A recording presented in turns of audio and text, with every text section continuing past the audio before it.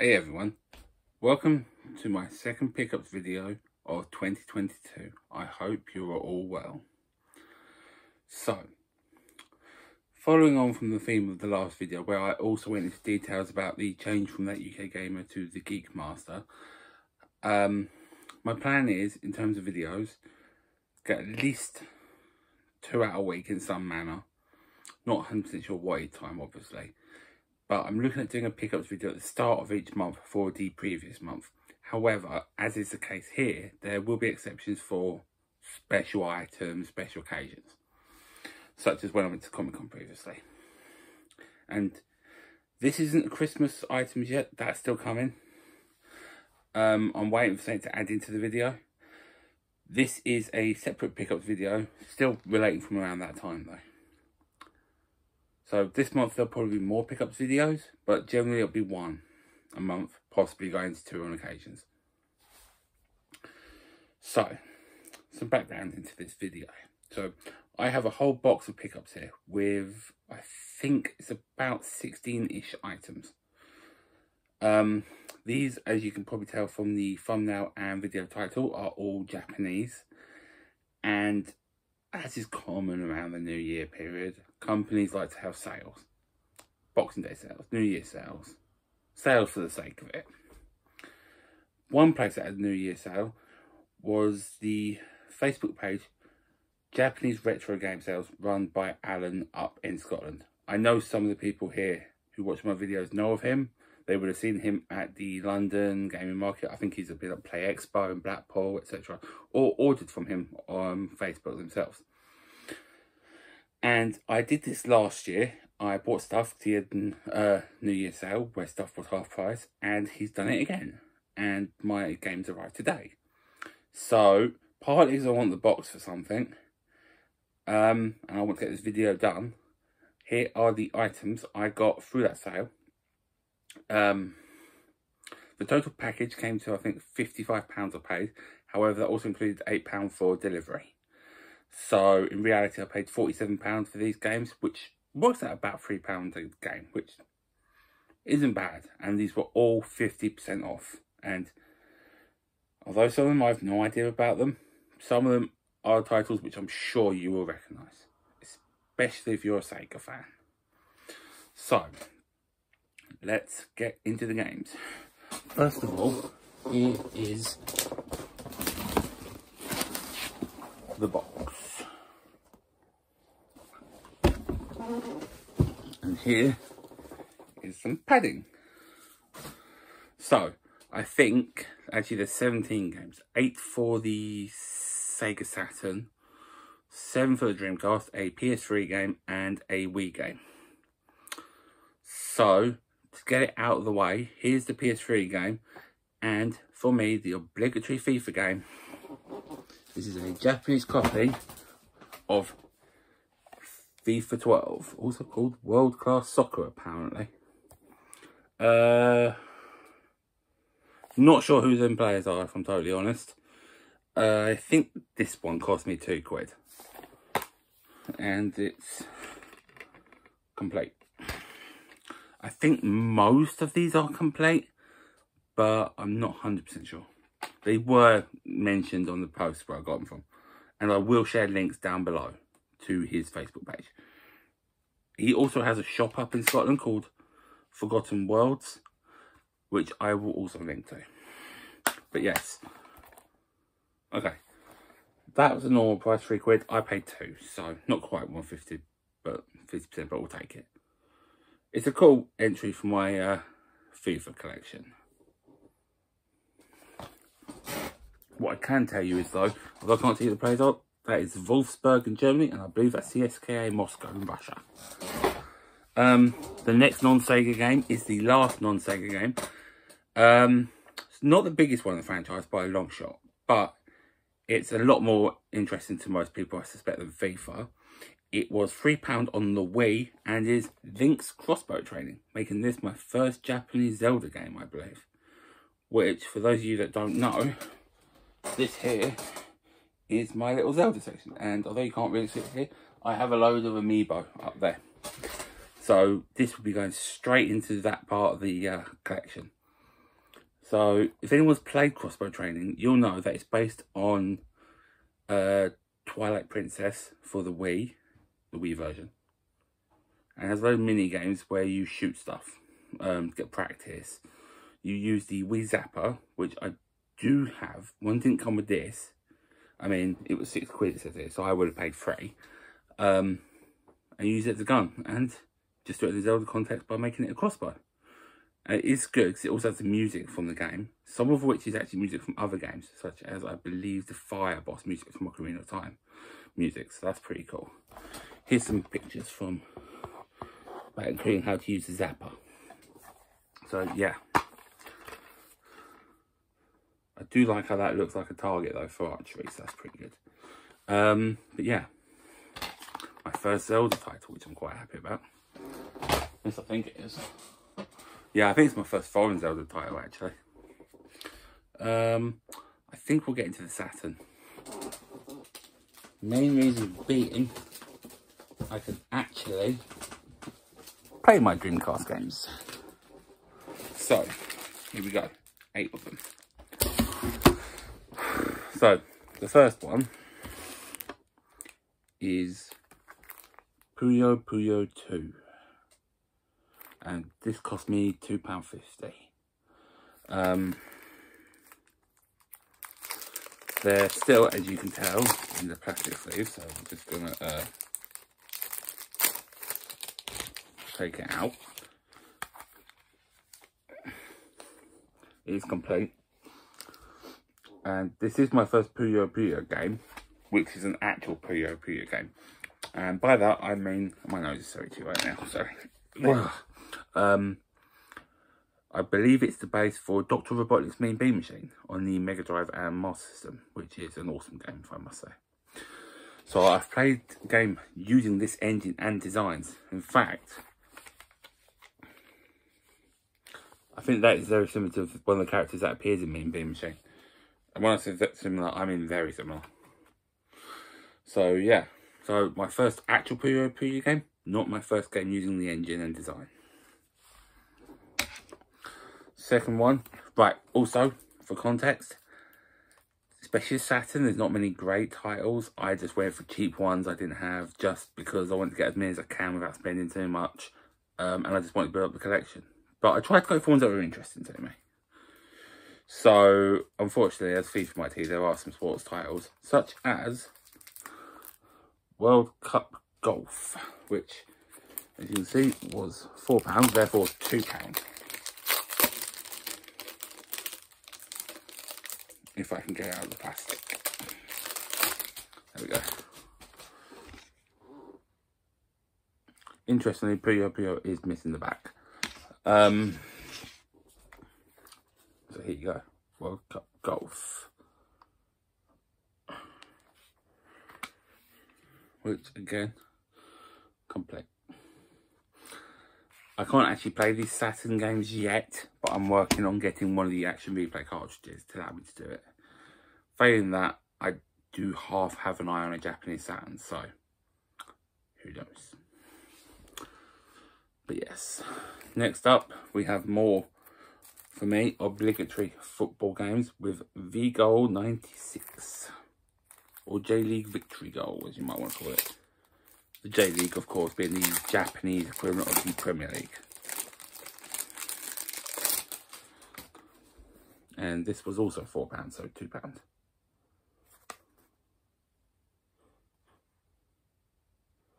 Looks to me like some sort of multi-tab can be used. Is that is that a thing for the Saturn? I'm not 100% sure. I may be a, Saturn, a Sega fan, but Saturn's not my strongest point. And as you can see, it's complete. This next one's a bit more interesting actually and is a bit more than the rest of them and isn't football or sport related, surprisingly. It is the game Find Love. Which, uh, first of all, was £18, so it cost me 9 quid. But also actually has an 18 rating, I think that says. So, yeah. And as you can see, there's a girls in their underwear and stripping. So yeah, so this will join the uh, pervert collection, I guess, with uh, block knockers and Why Uncovered and Perky Little Things, which is on the way, which I know a few people have grabbed.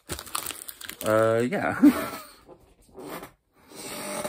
Although this one does look like, as far as I'm aware, you actually just uh, do puzzles. So to spot the difference, um, jigsaw puzzles. Having watched some gameplay on YouTube, so who knows.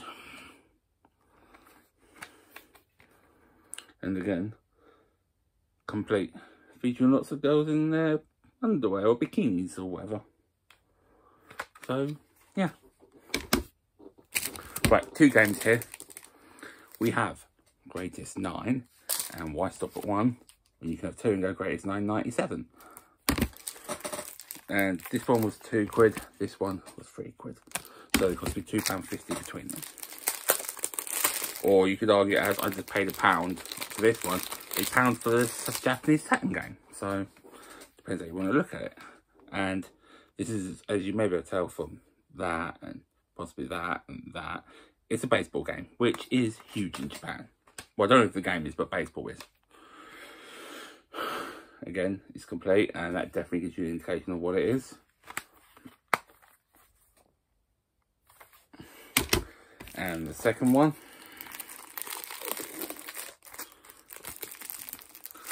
That's the unconventional way of uh, removing the wrapper. Uh, different wrapper, that's why. Two more Saturn games after this.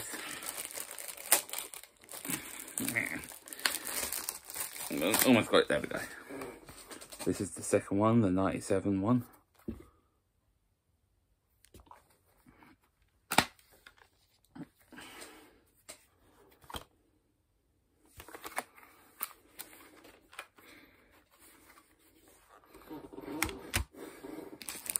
Two more. And a couple for the Retro Bear here. Uh, we have a fishing game for £1.50. And guess what? Another fishing game with what appears maybe be swordfish on them. So this one is sea bass fishing. I know there's been a few bass games, so yeah. So this is one of them. Sea bass fishing two even.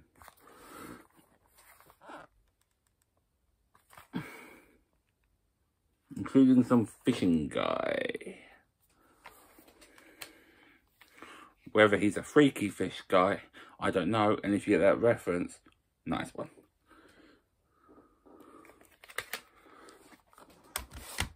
Last Saturn game is Hiroki Matsukata presents World Fishing.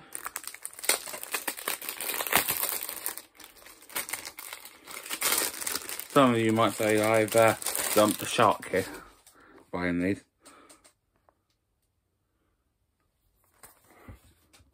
I guess that's uh, Hiroki Matsukata.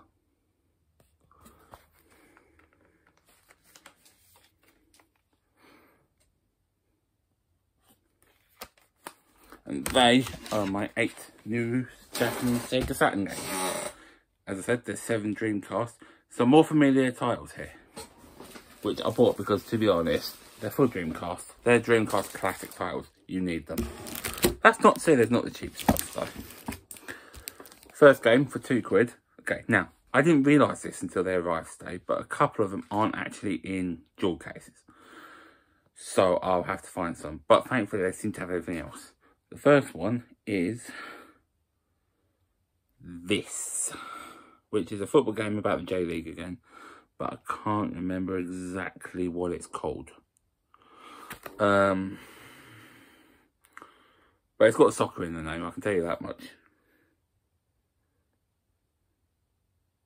J-League Pro Soccer something. Crab. It looks like it says crab, but that can't be right. but yeah. If I find out the name, I'll let you know. But it does have Macromedia Flash. So as you can see, we've got the little cards here disc and the manuals and that. So once we find the cases, uh, we'll be fine. Uh, yeah. Although now if it's promotional because it actually says no resale, so there you go. Oh no. Let's make a soccer club. That's it. Okay. Uh we'll hold on to them two till last. The best till last. Next up we have a couple of Dreamcast baseball games with um Power Pro Baseball, I believe it's called. I've got a couple of these for the 64. This is the, as you can tell, Dreamcast edition. It cost me a quid. So, also that Let's Make a Soccer Club, I have an equivalent on the Greens, on Saturn, I believe.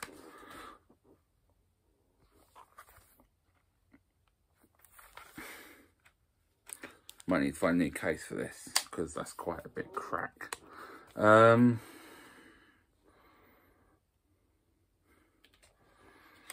If not, I'm not too worried. Um, put it down there. Next up is another one. This is another Power Pro one, I believe. I might be wrong though. But actually, I believe features actual teams along there. And there is another version of this, which I think I actually have. So I don't know if one's one year and one's another year. All I know is the cover's different, so yeah. And also it cost me a quid again. And I can't get out of the plastic. There we go.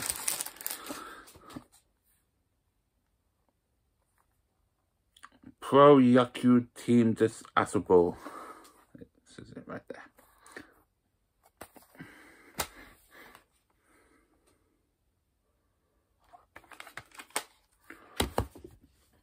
Okay, four left. And another one pound one. One for big game out here. It's your obligatory horse game. This one is called... I'm not entirely sure to be honest. Um, something to do with a derby. So, I know there's is it Derby Stallion, maybe? I think I might have it for the 64. But I think it's a Japanese exclusive series, so it might be part of that. If anyone does know for sure, let me know. But it does say around here, I don't know if you'll be able to see it. Let's become Derby owner. Well, they might well be up for sale. They are in administration at this time. I'm not sure the fans want Mike Ashley after the whole Newcastle debacle. So, this game told the future uh, almost 20 years ahead of its time. Uh, yeah. Okay, there we go. Very orange. And there's some horse legs.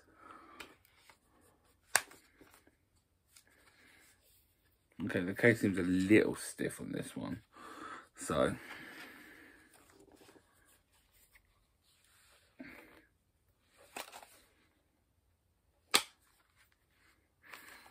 there we go, got it shut. Okay, um, this next one, uh, I've actually gone through the pictures of what was available and I recognised a couple of these pictures. I was like, I know that from somewhere, but I didn't know where. And I just spent literally five, ten minutes in my head just thinking, trying to figure out where I recognise these people from. So the people in name are, and this game is more and with a spine, are these people here. Now, I don't know if these people will mean anything to anyone. I can't remember their names exactly, but I realised where I know them from, and I did some research and verified. It's from an anime in English called Rumbling Hearts. However, unlike most cases where the game is made either based on the anime or manga, this actually started off as this game, and then because it's popular, an anime was made. Um, Japanese name I'm not entirely sure of, but I think it starts with Kimiwa or Kimiga. I can't remember exactly. Ga, I think it's Ga, because of uh, that is Ga. Um, I'll try and find out the name and add it. But um, yeah, took me a little while, because I haven't seen it for a while. But I do actually have the discs. over in the corner over there, which you can't see. But one day you will. Um, so yeah. So it's an actual addition to my games. Well, not based on anime, but at least connected to anime. And this does follow the anime plot, surprisingly. Or more like the anime follows this plot. So this is one I can tell you about, which is basically... Um, this girl likes a guy. Guy ends up with her. Them two are friends. Um, they, her and the guy go to meet on a date. He gets delayed because he meets her and it's her birthday. She and gets him to buy her a ring. Because uh, he was delayed in meeting her and she was waiting for him, she got caught up in an accident at the train station and ended up in a coma for three years, during which time she got together with the guy. And then it goes from there. So, yeah. So the moral for that story is, don't be late for a date. Um, some pictures from the back. Try to avoid glare. Um, yeah. So this is one I'm actually tempted to try having seen that anime. Uh, and maybe I need to give the anime another go as well, actually. And interestingly, this looks like from 2002. So after the Dreamcast stopped production. And it was £12, so I paid 6 quid for this. So I'm actually really happy with that.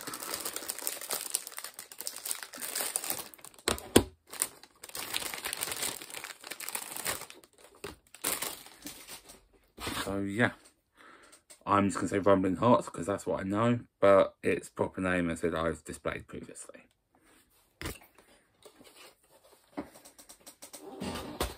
Uh, two games. Now, these are the big two as far as I'm concerned for Dreamcast.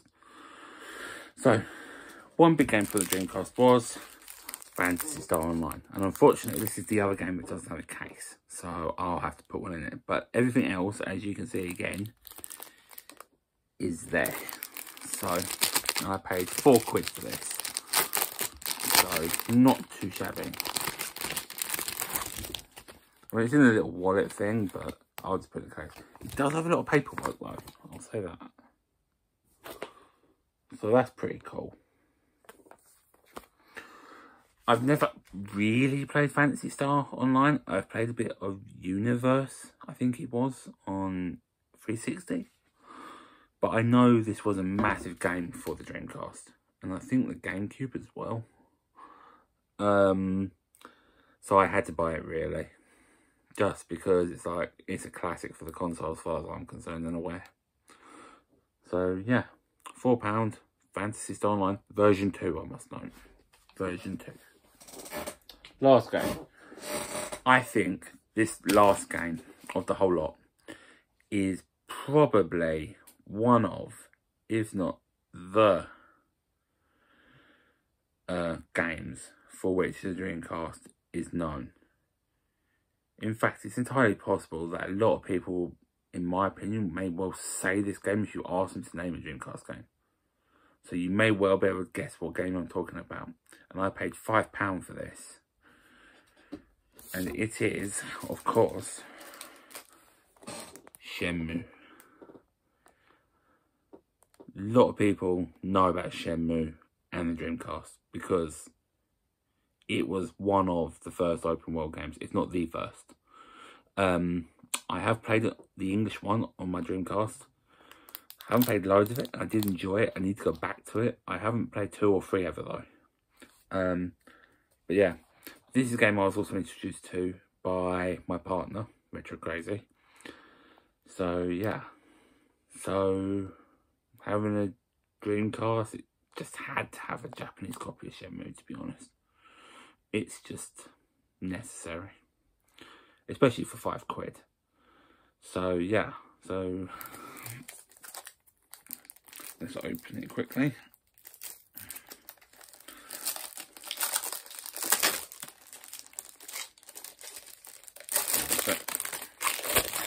There we go.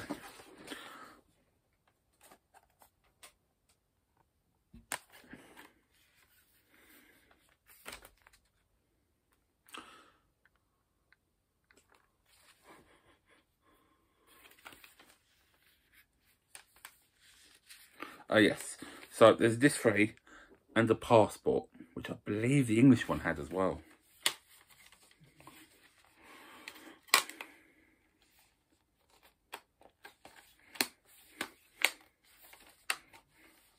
And there's discs one and two. So yeah, Shenmue.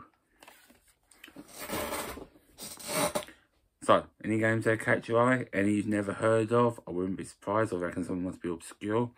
I'm sure most of you may well have heard of Shenmue at least, if not Phantasy Star Online. Probably FIFA and Zelda too, but I can't say for definite. But what would be your favourite of them? Which one would you want to try? So, personally, I kind of want to try the Rumbling Hearts one, just where I've watched the anime before. But I've got to be honest, I kind of want to try Japanese crossbow training. But I don't have a way to play it yet, so yeah. But anyway, uh, they're my Japanese pickups. I do actually have a couple more Japanese games coming, so I might do I might do mini pickup videos, like just quick two, three minute jobs. So the return of YouTube trousers and that they're slightly longer shorts. So keep an eye out for them. And it's for a series um and games you'd have heard of at least two of them, I reckon most people. So yeah. Thank you for watching. Uh, I've already started working towards pickups for February. It won't be as big as this or the last video at the minute anyway. But I might get a couple of games on Saturday. So we will see. Recording this on Monday the 17th. So keep an eye out. But for now, I just want to say thank you all for watching. And I should have an update on becoming the Geek Master soon. Thanks. Uh, have a good week. I'll see you soon. Bye.